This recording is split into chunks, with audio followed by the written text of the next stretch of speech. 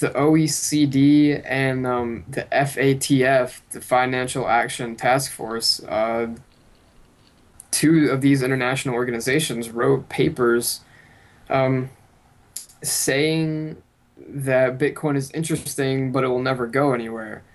Um, the OECD mm. specifically said uh, Bitcoin will never become an alternative to legal tender um, because governments can't make taxes payable in Bitcoin because it's impossible to track.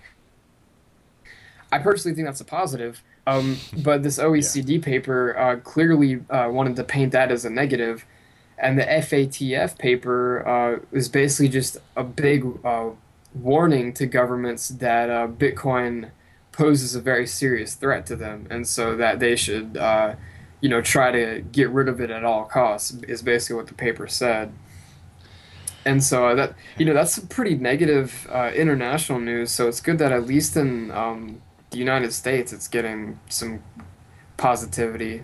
Yeah, yeah. The United States is actually one of the countries that has warmed up to Bitcoin the most, to the surprise of a lot of people. This started back in November when the Senate hearing first happened, and politicians actually liked the idea a lot with uh, lower transaction fees, and they just don't want people to commit crime on the network. But yeah, California, other states are doing it. Uh, the U.S. government has, you know, tenuous relationship with it. They actually recognize it as something valuable, at least. But um, going back to the OECD thing, um, do you do you, do you think that it will actually convince governments to to try and have a more hostile stance towards Bitcoin? Do you think it actually has clout in the political um, stage?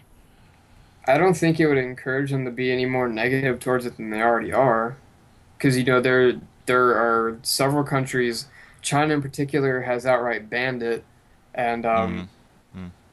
and uh, the European Central Bank, which obviously represents the entire continent of Europe, basically, um, everyone in the EU, which is you know a big chunk of Europe, um, they've said Bitcoin is bad. Um, Argentina, you know. Uh, passively threatened everyone in uh, its country that uses Bitcoin by reminding them that using Bitcoin violates their legal tender laws, so they should be cautious with that.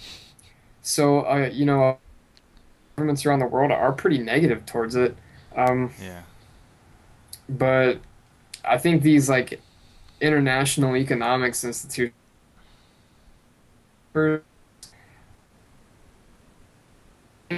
force these governments' beliefs uh, and actions in trying to discourage its use. But um, ultimately, what the governments think about it doesn't matter. It's whether or not the individuals use it, and I don't right. think papers like this are really affecting those uh, those people's opinions. Yeah, yeah. Most people don't really care, and most of the people actually reading those t- those kinds of papers that come out are people like us who are already involved in Bitcoin, and we're already uh, you know, trading it and, and, investing with it and, and paying people with it and getting payments with it, like we're not gonna listen to that paper anyway. It's just kind of like an intellectual, uh, you know, interesting thing to read about and kind of toy with.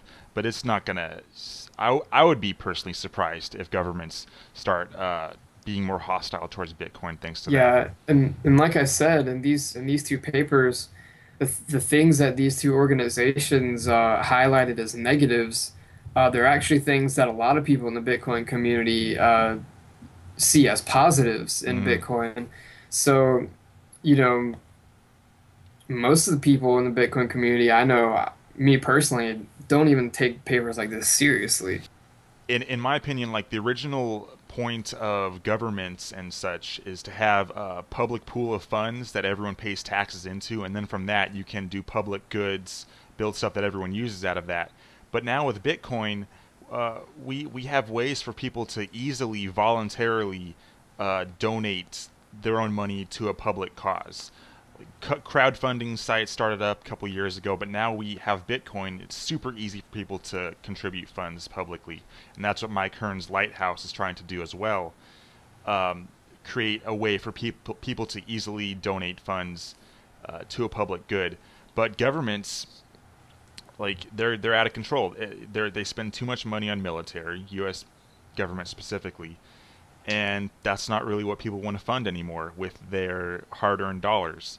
So that's why they're kind of afraid they're going to lose their influence to Bitcoin. Yeah, and I think I think uh, personally that uh, voluntary transactions are a much more uh, efficient way to provide public goods like roads and electricity and things like that. Yeah. Um, because also it, it subjects these uh, public goods to um, the innovation of the free market, and so you you won't have things like this like terribly outdated electrical grid that we have.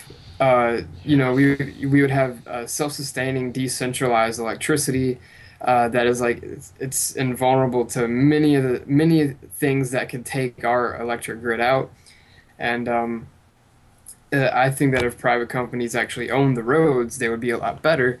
You know, I just want to point out that I live in, in a state that has one of the highest, if not the highest, gas taxes in the country, and our roads are awful. huh.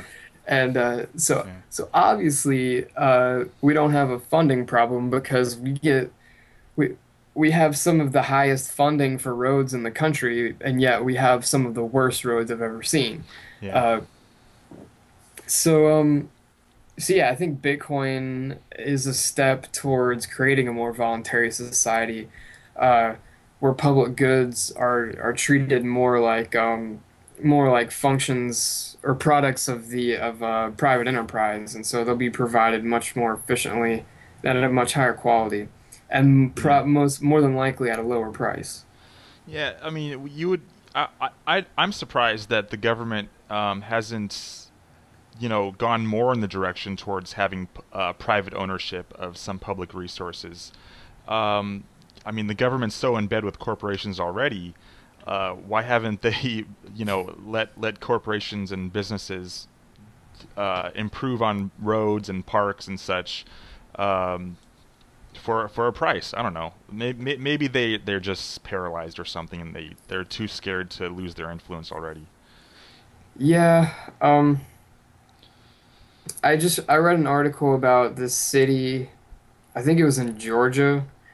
Um, the city government actually passed a bill uh, some amount of years ago to privatize the entire city and they they actually they actually sold all of the public services to one company and um wow and if the and if the people of that city were dissatisfied with the services of that company they could vote to fire that company and hire a new company to take over wow and interesting um, and apparently everybody loves it. Like like like uh, quality of life has improved so much since they let this private uh, enterprise take over.